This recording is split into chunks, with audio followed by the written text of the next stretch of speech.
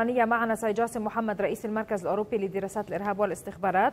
مساء الخير أهلا بك معنا سيد جاسم.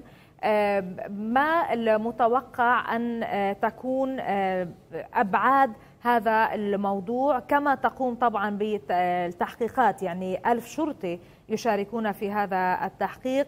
والهدف طبعا الأولوية هو إذا كان هناك عدد أكبر من المتورطين. المؤشرات لهذه اللحظة على ماذا تدل؟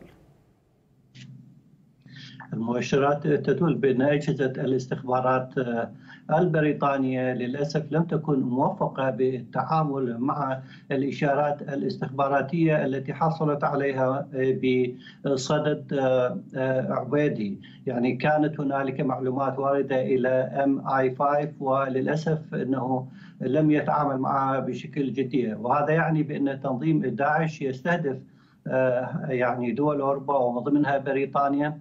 وهنالك يعني هذا يعني يعكس بأن هنالك احتمال من وجود أكثر من خلية خاصة إنه الآن نتحدث عن شبكة عن مجموعة أشخاص. بينما تعودنا في العمليات السابقة التي ضربت بريطانيا وكذلك أوروبا كان هنالك شخص بمفرده. أن تتحرك مجموعة وتقوم بتنفيذ مثل هذا النوع آه، فبالتأكيد يعكس أو يعطي دلالات بأن هنالك خلوقات في أمن آه، بريطانيا. تحتاج بريطانيا إلى الارتقاء أكثر بالتعامل مع التهديدات آه، الأمنية. نعم.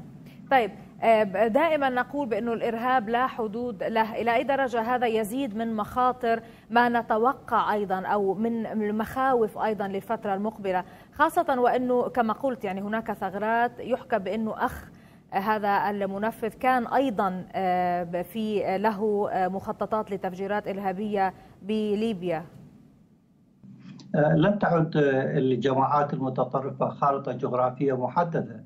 فنلاحظ أنه الآن يعني آه، آه، يعني الإرهاب ضرب مانشستر وكذلك ضرب منيا في في مصر.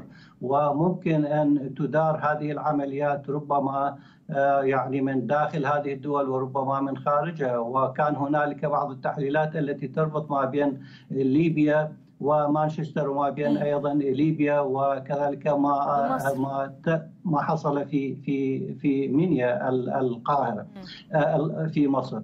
آه، فاذا لا توجد جغرافيا محددة ولا توجد دولة بماما عن هذا الإرهاب ولذلك يتطلب من آه، يعني المجتمع الدولي أن تكون هنالك تقاسم بالمعلومات، التعاون في التعزيز الاستخباراتي في سبيل تبادل المعلومات حول هذه الجماعات المتطرفة. نعم. الجماعات الإرهابية هذه تعتمد على مثل هكذا هجمات إرهابية لربما تشتيت الانتباه عما يحدث لهذه الجماعات في آه، دول أخرى تتراجع فيها؟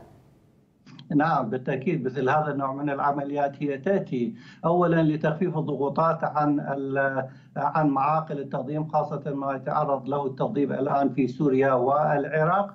آه، فلذلك هذه العمليات هي في سبيل آه، يعني إضعاف الضغوطات على هذه المعاقل. بالإضافة إلى ذلك هي تعتبر أيضا ورقة ضغط محاولة من هذه الجماعات للتأثير على الحكومات التي تساهم أو التي يكون لها دور فاعل في محاربة التنظيم أو مكافحة الإرهاب خاصة إذا كان داخل دول التحالف الدولي. نعم.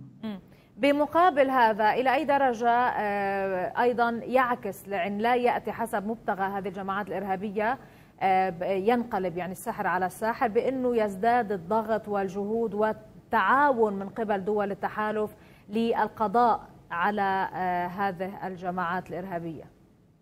هذا يعتمد على قدرة الدولة على سبيل المثال الآن في بريطانيا آه، ربما انقلبت يعني المعادلة ضد هذا التنظيم من خلال نهوض آه، أو حالة التأهب التي تعيشها بريطانيا الآن من عملية تنشيط للجهود الاستخباراتية وكذلك البحث آه، في خيوط هذه القضية. فبالتأكيد هذا يعني إنه قدرة الاستخبارات البريطانية في تفكيك خلايا تنظيم داعش داخل التنظيم فإذا نستطيع أن نقول أنه المعادلة تكون مقلوبة وهذا يعتمد على قدرة أجهزة الاستخبارات في ذلك البلد مثل بريطانيا بالضبط. نعم.